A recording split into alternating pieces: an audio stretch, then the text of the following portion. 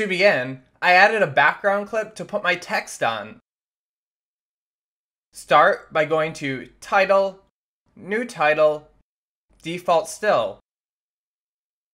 Name your title as you'd like and then hit OK.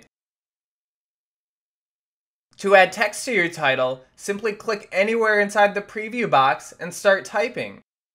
To increase the size of your text, you can either click and drag on the number value next to the text size icon or double click on the number to change it manually.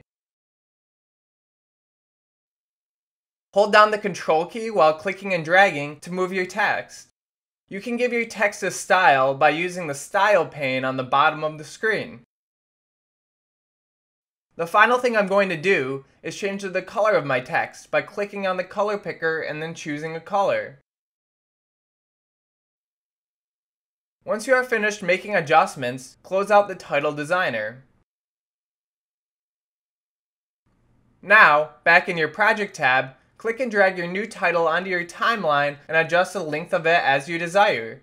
And that's all there is to it. When you play back your clip, you'll see your brand new text layer.